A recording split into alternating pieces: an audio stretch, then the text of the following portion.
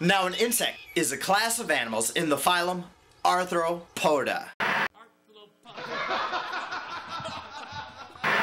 When classifying animals, it goes like this Kingdom, phylum, class, order, family, genus, species. I spit it out. I got it. Now, the word arthropod comes from two Greek words the word arthros and podos. Arthros means jointed, podos means leg or foot. Put them together, and you've got jointed leg or foot. That's what the word arthropod means jointed leg or foot. Jointed leg or foot. Jointed leg or foot. Now, there's one other feature that all arthropods have that the name doesn't tell you, and that is an exoskeleton.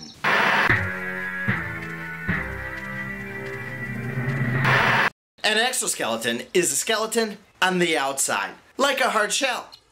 No, a turtle is not an arthropod.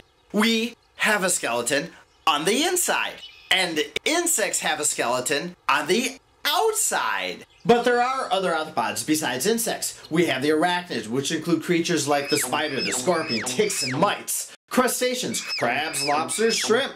Mmm, yummy. And then we have the myriapods, animals with a myriad of legs, like the centipedes and millipedes.